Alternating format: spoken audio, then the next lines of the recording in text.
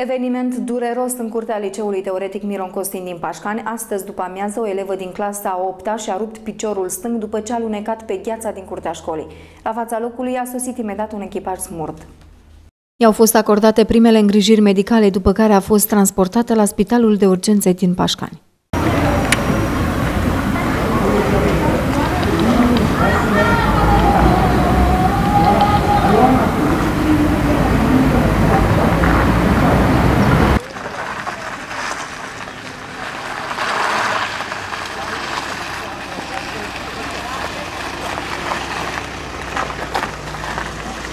Alunecat în curtea școlii pe gheață, de, nu a fost atentă și atâta tot. Am chemat uh, salvare, am acordat primul ajutor și am dus la spital. Menționăm că tânăra în vârstă de 15 ani a mai avut o fractură la același picior.